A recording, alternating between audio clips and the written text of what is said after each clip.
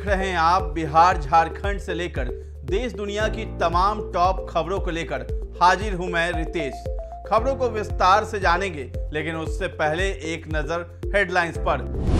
केरल में serial blast के बाद दिल्ली, मुंबई, यूपी में अलर्ट, चर्चों की बढ़ाई गई सुरक्षा। केरल के कन्वेंशन सेंटर में हुए विस्फोट में बड़ा अपडेट सामने आया। धमाका करने वाले ने सरेंडर किया। संयुक्त राष्ट्र में हाल में लाए गए इसराइल हमास संघर्ष संबंधित एक प्रस्ताव पर वोटिंग से भारत ने बनाई दूरी। नीतीश सरकार देगी बिहार के शिक्षकों को आवास की सुविधा। शिक्षा विभाग ने मकान मालिकों से मांगा आवेदन। शराब घोटाले से जुड़े मनी लॉन्ड्रिंग मामले में गिरफ़्तार योगेंद्र तिवारी से ईडी पूछताछ। आगे भी जारी रखेगी। अब खबर विस्तार से। केरल के कोची में एक कन्वेंशन सेंटर में हुए सीरियल ब्लास्ट के बाद राष्ट्रीय राजधानी दिल्ली, मुंबई और उत्तर प्रदेश में सुरक्षा बढ़ा दी गई है। एक रिपोर्ट के मुताबिक दिल्ली में चर्चों और भीड़ भाड़ वाली सार्वजनिक स्थलों पर सुरक्षा बढ़ाई गई है। वहीं मुंबई में भी पुलिस अलर्ट पर है। दिल्ली पुलिस ने एक बयान में कहा है, दिल्ली पुलिस की स्पेशल सेल लगातार खुफिया एजेंसियों के संपर्क में है और किसी भी इनपुट को गंभीरता से ले रही है। भीड़ भाड़ वाली जगहों पर सुरक्षा व्यवस्था की जा रही है। इसी तरह मुंबई पुलिस ने त्योहारी सीज़न, आगामी क्रिकेट मैचों और केरल में हाल ही में हुए विस्फोटों को देखते हुए हाई अलर्ट जारी किया है और सुरक्षा बढ़ा दी है। इसराइल हमास के बीच चल रहे युद्ध के कारण मुंबई के यहूदी केंद्र चवाड हाउस में पहले से ही सुरक्षा बढ़ा दी गई है।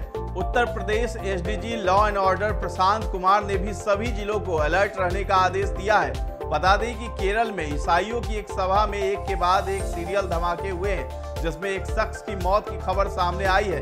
इसके साथ ही ब्लास्ट में 35 लोग घायल बताए जा रहे हैं। हादसे के बाद कई बड़े नेताओं की प्रतिक्रिया भी सामने आई है। केरल में कलामासेरी स्थित एक कन्वेंशन सेंटर में हुए विस्फोट में बड़ा अपडेट भी सामने आया है। पता चला है कि कोच्चि का मूल निवासी डोमिनिक मार्टिन कलामासेरी ब्लास्ट मामले में कोटकारा पुलिस की हिरासत में है। रविवार दोपहर करीब डेढ़ बजे मार्टिन कोटकारा पुलिस स्टेशन पहुँचा और बताया कि उसने बम रखा था। पुलिस उससे पूछताछ कर रही है। हालाँकि शुरुआती पूछताछ के दौरान उसने विरोधाभासी बयान दिए थे, लेकिन कुछ संदिग्ध जवाबों के आधार पर पुलिस ने उससे और विस्तार से पूछताछ करने का फैसला किया है। इसके लिए एडीजीपी के नेतृत्व में उच्च स्तरीय अधिकारी जल्द ही कोटकारा पहुँचेंगे। इसके अलावा सीरियल ब्लास्ट के अपराधी की ओर से इस्तेमाल की गई संदिग्ध नीली कार की जाँच में भी पुलिस को महत्वपूर्ण जानकारी मिली है। पुलिस को शक है कि हमलावर इसी कार से कन्वेंशन सेंटर पहुँचा था, जहाँ प्रार्थना सभा हुई थी। ये कार घटना के बाद पुलिस को मिली अहम जानकारी है। जानकारी मिली है कि कार का नंबर भी फर्जी है। संयुक्त राष्ट्र में हाल में लाए गए इसराइल हमास संघर्ष संबंधी एक प्रस्ताव पर वोटिंग से भारत ने दूरी बनाई है। ये इसराइल हमास संघर्ष को विराम और गाजा में मानवीय सहायता पहुँचाने से जुड़ा था। इस प्रस्ताव के पक्ष में 121 देशों ने वोटिंग की है। भारत सहित 44 सदस्यों ने वोटिंग से दूरी बनाकर रखी। 14 मुल्कों ने प्रस्ताव के खिलाफ मतदान किया। भारत के रुख पर विपक्ष ने तीखी नाराज़गी जताई है। वहीं सरकार ने अपने स्टैंड का मजबूती के साथ बचाव किया है। मतदान से दूर रहने की सबसे बड़ी वजह उसने आतंकवाद को बताया है। उसने दो टुक कहा है कि आतंकवाद की कोई सीमा, राष्ट्रीयता या नस्ल नहीं है। दुनिया को आतंकी गतिविधियों को जायज़ ठहराने वालों की बातों को तवज्जो नहीं देना चाहिए। अब खबर बिहार की। बिहार में नियोजित शिक्षकों को राज्य कर्मी का दर्जा देने की अभी बात चल ही रही थी कि बिहार शिक्षा विभाग की वेबसाइट पर एक आवेदन अपलोड हो गया है। बिहार के साढ़े चार लाख नियोजित शिक्षकों को राज्य कर्मी का दर्जा देने की बात हो रही है। हालाँकि पहले सरकार की ओर से समक्षता परीक्षा पास करने की शर्त रखी गई थी। अब चर्चा ये है कि सरकार बिना शर्त उन्हें राज्य कर्मी का दर्जा देने वाली है। इस खबर की अभी भी आधिकारिक पुष्टि नहीं हुई है। तभी बिहार शिक्षा विभाग की वेबसाइट पर सरकार ने एक आवेदन का फॉर्मेट अपलोड किया है, जिसके माध्यम से मकान मालिकों और ज़मीन मालिकों से आवेदन की मांग की गई है। जानकारी के मुताबिक बिहार सरकार एक के बाद एक शिक्षकों के लिए बड़े तोहफे का ऐलान कर रही है। उसी क्रम में नीतीश सरकार की ओर से शिक्षकों को आवास की सुविधा मुहैया कराने की बात कही जा रही है।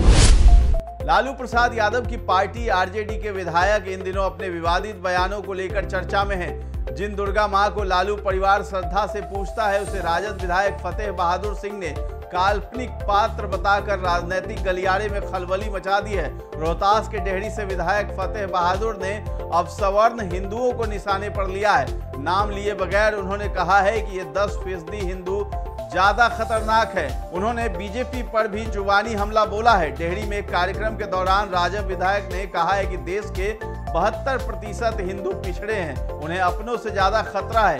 एक पार्टी लगातार हिंदुओं को एकजुट होने का नारा लगाती है। इसराइल और हमास के बीच चल रहे युद्ध में अब तक हज़ारों लोगों की मौत हो चुकी है। इस बीच गाजा सीज फायर पर भारत के स्टैंड को लेकर केंद्र की नरेंद्र मोदी सरकार अब विपक्ष के निशाने पर आ गई है। आरजेडी प्रमुख लालू प्रसाद यादव ने भारत की विदेश नीति को लेकर केंद्र सरकार पर हमला बोला है। लालू यादव ने सोशल मीडिया एक्स पर लिखा है कि यह पहली बार है जब भारत ने मानवता, युद्ध विराम और विश्व शांति के विषय पर सबसे आगे रहने के बजाय धूल मूल रवैया अपनाया है। बिहार में नियोजित शिक्षकों की राज्य कर्मी का दर्जा देने के लिए सक्षमता परीक्षा, बिहार विद्यालय परीक्षा समिति आयोजित करेगी।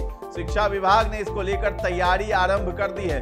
इससे जुड़े प्रस्ताव पर सैद्धांतिक फैसला हो चुका है। सिर्फ़ अंतिम निर्णय लिया जाना है। इस मसले पर शिक्षा विभाग द्वारा परीक्षा समिति से संपर्क भी किया गया है। दोनों के बीच इसको लेकर कई दौर की बैठकें भी हो चुकी है। इसमें परीक्षा से संबंधित तमाम पहलुओं पर विमर्श किया गया है। विभाग में भी इस पर मंथन चल रहा है। बिहार की नीतीश सरकार में सहकारिता मंत्री सुरेंद्र यादव के बयान पर सियासत तेज हो गई है। उन्होंने कहा था कि अफसर गाली देने पर ही काम करते हैं और वे रोज उन्हें गरियाते हैं। दरअसल सुरेंद्र यादव ने गया में एक जनसभा को संबोधित करते हुए अफसरों को लेकर बेतुका बयान दे डाला था। उन्होंने कहा कि हमारी लड़ाई सबसे ज़्यादा अफसरों से होती है। हम रोज अफसरों को गाली देते हैं। यहाँ आने से पहले भी दो अफसरों को गरिया कर चले हैं। इस विवादित बयान पर विपक्षी बीजेपी और जीतन राम मांझी की पार्टी, हिंदुस्तानी आवाम मोर्चा ने आरजेडी और बिहार सरकार पर हमला किया है। वहीं महागठबंधन सरकार में शामिल कांग्रेस पार्टी ने राजद के मंत्री से किनारा कर लिया है। खुद आरजेडी भी अपने नेता के बयान पर बैकफुट पर चली गई है। बिहार में पिछले 24 घंटे में डेंगू के तीन सौ इक्यासी मरीज़ मिले। इसके साथ ही राज्य में मरीजों की संख्या चौदह हो गई है।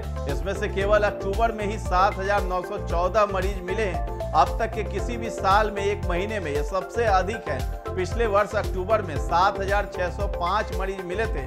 गौरतलब है कि अक्टूबर में ही सबसे अधिक डेंगू के मरीज़ मिलते रहे हैं।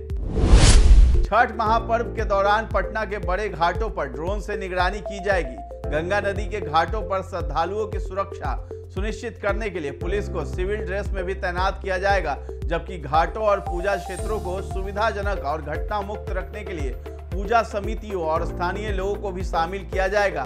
इस मौके पर गंगा नदी के घाटों पर नदी गश्त के अलावा बचाव दल की टीम भी मौजूद रहेगी, जो घाटों पर भीड़ की गतिविधियों पर नज़र रखेगी। अब खबर झारखंड की।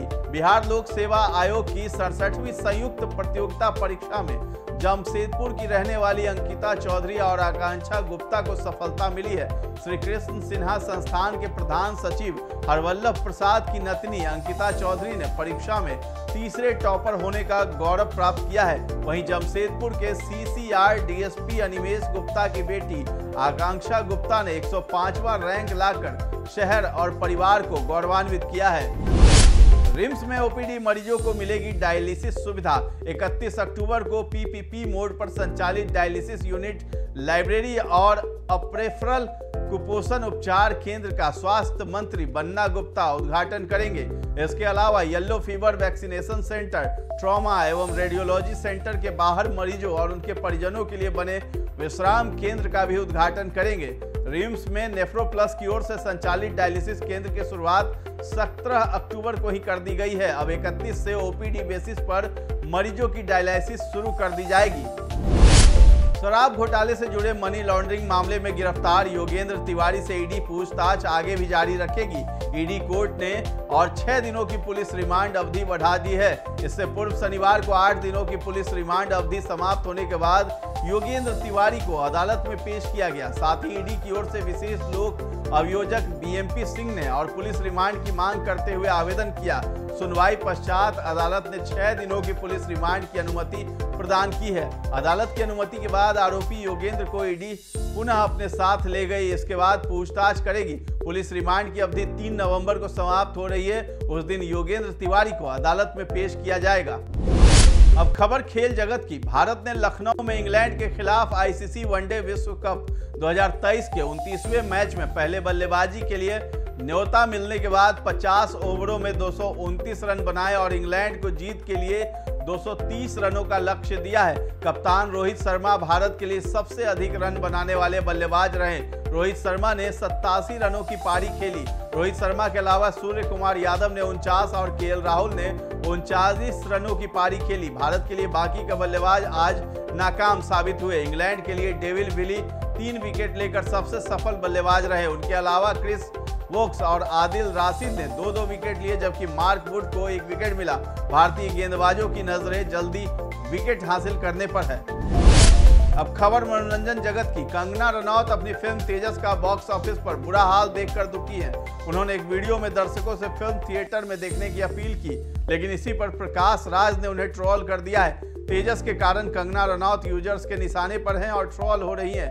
प्रकाश राज और दीपा मेहता ने भी कंगना पर तंज कसा है। कंगना के वीडियो पर प्रकाश राज ने उन्हें निशाने पर ले लिया और तंज कसते हुए लिखा, इंडिया को अभी 2014 में ही आज़ादी मिली है। प्लीज़ वेट करो, संख्या बढ़ जाएगी। Just asking. बता दें कि तेजस की कमाई की बात करें तो इसने ओपनिंग डे पर सिर्फ़ एक करोड़ पच्चीस लाख रुपए कमाए थे। दूसरे दिन भी फ़िल्म ने इतनी ही कमाई की, जिसके बाद इसका कुल कलेक्शन ढाई करोड़ रुपए ही हुआ है। अब बात मौसम के मिजाज की। बिहार के कई जिलों में सुबह और शाम ठंड का एहसास होने लगा है। मौसम विभाग के मुताबिक 30 अक्टूबर से पूरे देश में ठंड बढ़ने की संभावना है। पटना, बक्सर, गया, मुजफ्फरपुर और छपरा में सोमवार को मौसम सामान्य बना रहेगा। इन सभी शहरों में अधिकतम तापमान 30 से 34 डिग्री सेल्सियस के आसपास रहने की संभावना है। तो ये थी दिन भर की विशेष खबरें। बिहार और झारखंड समेत देश और दुनिया की तमाम खबरों से अपडेट रहने के लिए आप हमारे चैनल दर्श न्यूज़ पे बने रहें और सब्सक्राइब कर लें। अगर ये वीडियो आप फेसबुक पर देख रहे हैं, हमारे पेज को लाइक और फॉलो करना ना भूलें। धन्यवाद।